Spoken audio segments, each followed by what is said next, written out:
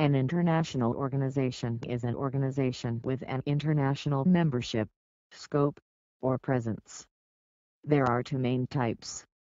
International non-governmental organizations NGOs non-governmental organizations NGOs that operate internationally. These include international non-profit organizations and worldwide companies such as the World Organization of the Scout Movement, International Committee of the Red Cross and Médecins Sans Frontières. Intergovernmental organizations also known as international governmental organizations IGOs the type of organization most closely associated with the term international organization. These are organizations that are made up primarily of sovereign states referred to as member states.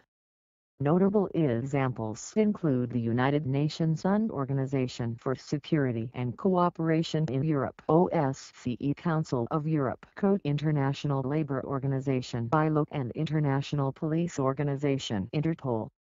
The UN has used the term intergovernmental organization instead of international organization for clarity. The first and oldest intergovernmental organization is the Central Commission for Navigation on the Rhine, created in 1815 by the Congress of Vienna.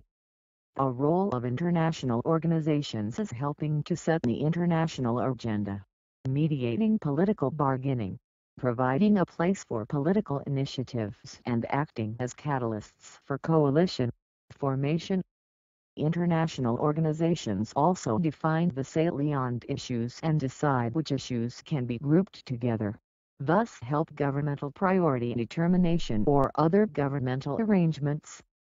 Not all international organizations seek economic, political and social cooperation and integration.